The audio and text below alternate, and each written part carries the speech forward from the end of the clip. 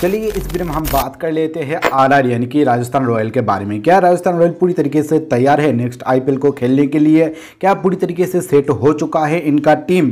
और क्या हो सकता है इनका बेस्ट प्लेइंग एलेवन इन सभी चीज़ों के बारे में हम डिस्कस करेंगे, यानी कि एक टोटल प्रीव्यू वीडियो आपको मिलने वाला है राजस्थान रॉयल के बारे में। तो राजस्थान रॉयल ने ट्रांसफ़र मार्केट में बहुत ही ज़्यादा हल्ला मचाया था, इस बार आपको पता है, और उनका जो कैप्टन था अजिंक्य रहाने वो भी चला गया है दिल्ली कैपिटल्स में तो इनके पास अजिंक्य रहाने इस बार मौजूद नहीं है, लेकिन उसके बाद ये ऑक्शन में जाकर बहुत सारा शॉपिंग किया, लगभग 11 खिलाड़ी को ऑक्शन से उठाया है इन्होंने।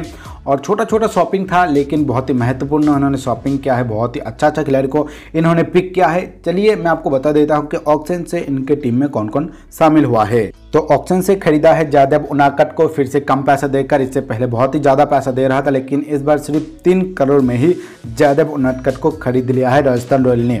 उसके बाद रॉबिन उत्थप्पा को खरीदा है तीन करोड़ में यशस्वी जायसवाल को 2.4 करोड़ में, उसके बाद कार्तिक त्यागी को एक करोड़ में, टॉम कुरन को एक करोड़ में एंड्रू ताई को एक करोड़ में, अनुज रावत को 80 लाख में डेविड मिलार को इन्होंने 75 लाख में ही खरीद लिया है। उसके बाद अनिरुद्ध जोशी इनको खरीदा है 20 लाख में, आकाश सिंह को इन्होंने खरीदा है 20 लाख में और ओशियन थॉमस को भी शायद 20 लाख में ही खरीदा है। मुझे इसका डिटेल्स अभी सामने नहीं दिखाई दे रहा है तो ओशियन थॉमस को भी इन्होंने खरीदा है ऑक्सीजन से ही।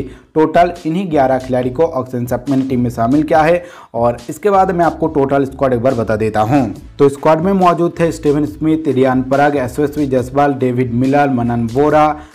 Shashank Singh, Ben Stoke, Mahipal Lomror, Shreyas Gopal, Tom Curran, Aniruddha Joshi, Jos Buttler, Sanju Samson, Anuj Rawat, Robin Uthappa, Andrew Tye, Kartik Tyagi, Ankit Rajpoot, Rahul Tiwari Jaydev Unadkat, Mayank Markande Oshane Thomas, Akash Singh और Varun Aaron. तो Rajasthan Royal के squad को देखते हुए हमें लग रहा है कि बहुत ही बैलेंस टीम है, क्योंकि जितना अच्छा इनके बैटिंग है, उतना अच्छा ही बॉलिंग है।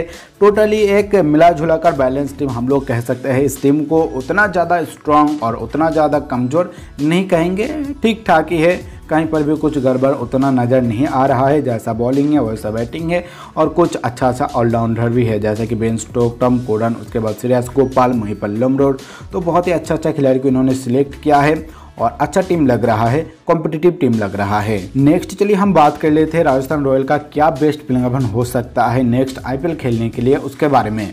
तो भाई, पहले अगर ओपनिंग की बात किया जाए तो मैं जा रहा हूँ जॉस बटलर और एस पी जायसवाल के साथ साथ साथ रॉबिन उत्तापा भी हो सकता है जायसवाल के जगह।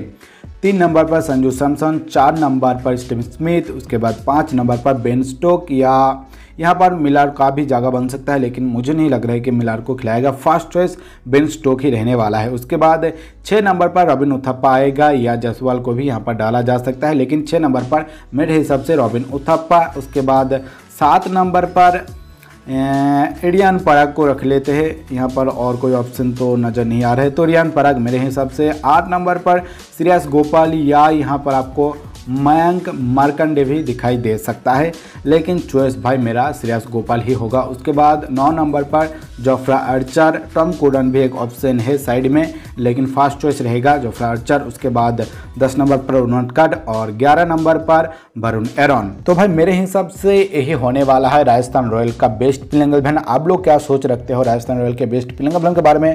कमेंट करके मुझे ज़रूर बता दीजिए। और क्या बताऊँ इस टीम के बारे में? आपको दिखाई दे रहा है कि किस तरह का टीम है तो वीडियो कहीं पर एंड करता हूँ। आपको बहुत बहुत शुक्रिया टाइम निकाल के इस वीडियो को देखने के लिए। अगर आपको वीडियो अच्छा लगे तो लाइक ज़रूर कर दीजिए।